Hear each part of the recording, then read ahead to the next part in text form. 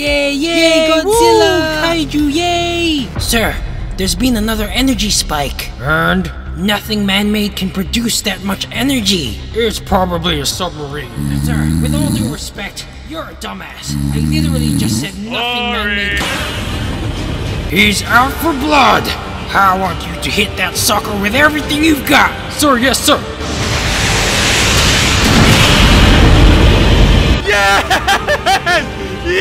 That energy spike. It it wasn't Godzilla. Now who the hell are you? B-plot character.